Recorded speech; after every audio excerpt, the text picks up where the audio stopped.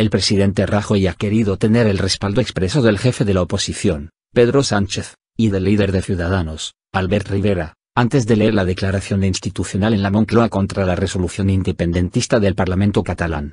Rajoy ha hablado con ellos a lo largo de la mañana, y ha comprobado que en la defensa de la ley frente a los separatistas van los tres juntos, algo que se valora en Moncloa de forma especial. Desde la Moncloa se ha telefoneado a última hora de la mañana de hoy a la dirección de Ciudadanos para informar de la comparecencia del presidente del gobierno ante el pacto entre Junts pel Sí y la CUP para iniciar un proceso de desconexión democrática no se supeditará a las decisiones del Estado español. Rajoy y Rivera han hablado personalmente durante varios minutos.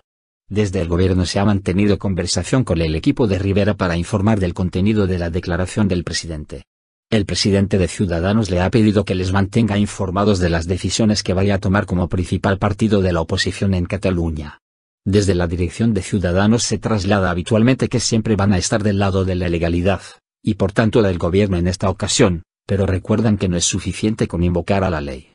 Por su parte, Pedro Sánchez ha telefoneado este mediodía al presidente del gobierno, Mariano Rajoy para articular una respuesta de Estado al desafío soberanista de Junts y las CUP en el Parlamento de Cataluña, según informan fuentes socialistas. Fuentes del gobierno han precisado que Sánchez ha devuelto la llamada al presidente del gobierno durante la mañana. En presidencia destacan la coincidencia de Rajoy, Sánchez y Rivera en la defensa de la ley y la unidad de España. Los tres han acordado mantener abierta esta vía de diálogo en las próximas semanas, que pueden ser decisivas ya que los independentistas quieren sacar adelante la resolución antes de un mes.